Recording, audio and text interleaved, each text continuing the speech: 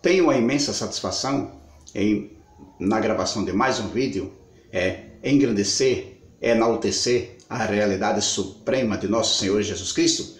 Jesus Cristo que é real, Jesus Cristo que não foi um mito ou um fantasma que surgiu na, na terra, que surgiu no, no, espaço, mas Jesus Cristo que ele é real, Jesus Cristo que nasceu. É, e esse Jesus que nasceu e viveu entre, entre os povos, ele realmente está à destra do poder. E esse Jesus que nasceu e está entre os povos, ou seja, que esteve entre os povos, ele não apenas passou a existir quando nasceu de Maria. Né? Uma vez eu vi uma publicação, alguém dizendo que não existe Jesus sem Maria e não existe Maria sem Jesus. A bendita Maria ela existiu, mas só que Jesus, ele existiu muito antes de Maria. Que coisa, né? Parece um paradoxo. Não é verdade. É porque Jesus falou na sua oração em João, capítulo 17. Você vai acompanhar comigo. Abra sua Bíblia, confira na palavra. João, capítulo 17, versículo 4 e 5. Evangelho conforme escreveu João, capítulo 17, versículo 4 e 5. Jesus fez uma oração.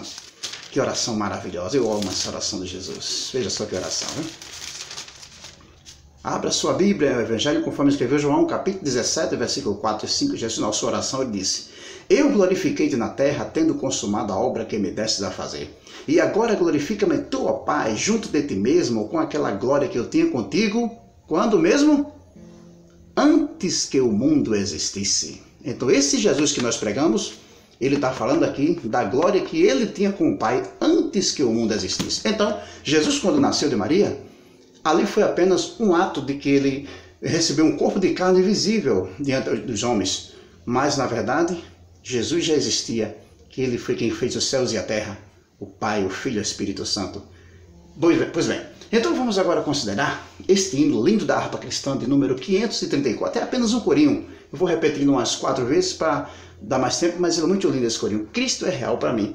Considerando a palavra em Hebreus capítulo 13, versículo 8, está escrito o seguinte: diz que é, Jesus Cristo é o mesmo ontem, hoje e eternamente. Então, Jesus Cristo é o mesmo. Ele não mudou, nem muda e nem mudará. Glórias a Deus. Os homens mudam, Jesus não muda. Cristo é real para mim.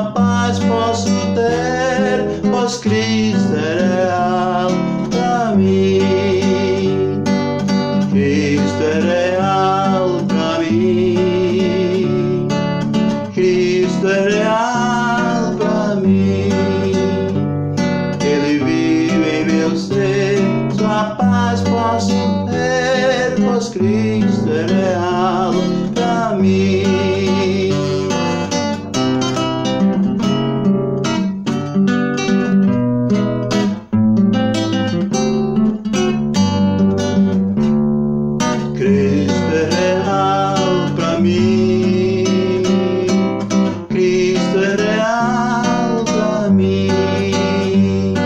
Ele vive em meu ser, sua paz posso ter, posso crer.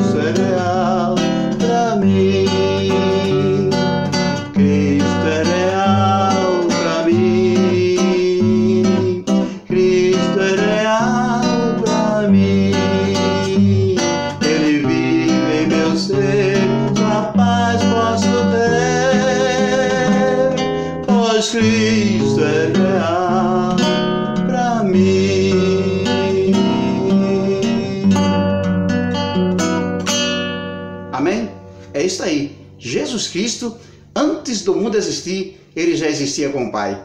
Então Jesus Cristo, ele é ontem, hoje e eternamente. Glórias a Deus. Então nos dias de Maria, ele nasceu, ele recebeu um corpo de carne, um corpo sacrificial, um corpo de cordeiro, um corpo com sangue, para que pudesse verter o seu sangue para nos salvar. Mas ele já existia desde antes da fundação do mundo, porque os céus e a terra também foram feitos por intermédio dele. Amém? Se você gostou, dê um like. Clique que gostou. Também, se você não gostou, participe das formas que você queira. Pois bem, mas também se você gostou, compartilhe, Se você ainda não tiver se inscrito no canal abaixo, inscreva-se e vamos compartilhar que Cristo Jesus ele é real. Amém? Até o próximo vídeo.